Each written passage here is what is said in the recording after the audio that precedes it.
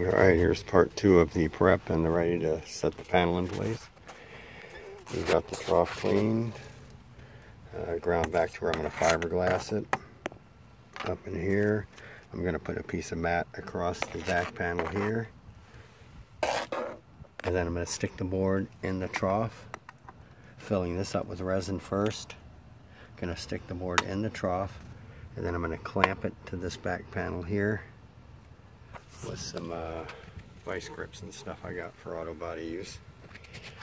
And once I put that in there and hammer it in there, I'll let that dry a little bit.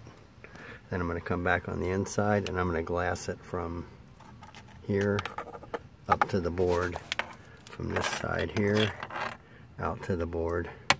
And that should hold it in place. And then I will fiberglass the original outside piece over the top of all that.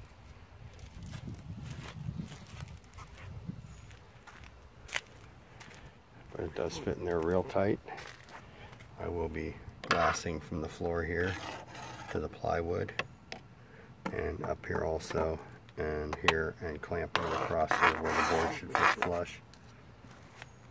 And the board has been resined already, it's fiberglassed so it's uh, not going to rot later on.